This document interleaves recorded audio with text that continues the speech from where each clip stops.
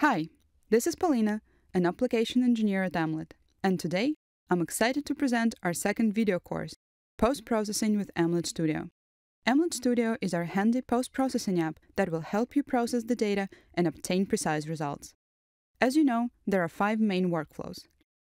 Static processing, kinematic processing, drone data processing, stop and go with Emlid Flow, and convert to RINEX.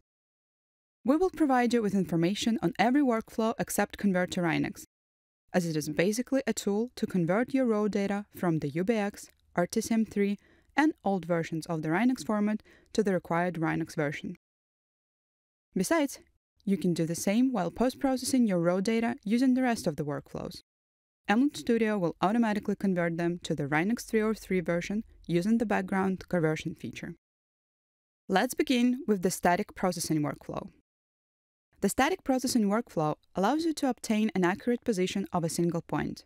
Usually, it is used to get coordinates of a local base station when you cannot access an NTRIP service for RTK.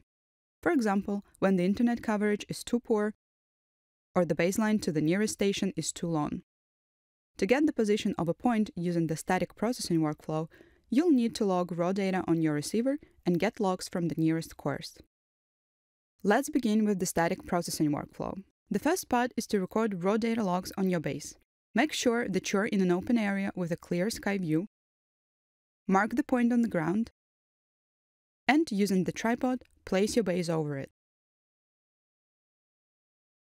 Then configure the login settings. After that, you can enable log recording. The second part is to get raw data from a CORS. Usually, you can access the CORS site and download logs for the required period of time. As a result, you should have the following files. A RINEX observation file from a CORS, a RINEX observation file from a local base, a RINEX navigation file from a CORS or a local base. If your raw data logs are in the UBX format, Emlid Studio will automatically convert them to the RINEX 303 format using the background conversion feature. Let's post-process them using the static processing workflow to get the position of your local base. Add the RINEX observation file from your receiver to the static receiver field. Set the antenna height. By default, Emlid Studio uses information on the antenna type and height from the RINEX file. If you didn't specify the pole height when recording logs, you can enter it manually now. Add the RINEX observation file from the CORS to the base field. You will see the CORS coordinates. By default, Emlid Studio uses the RINEX header position.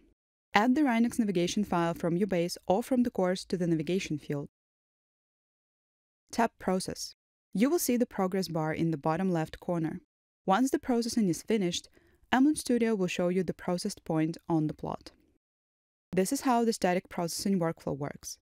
In the next video, we will take a closer look at the kinematic processing workflow.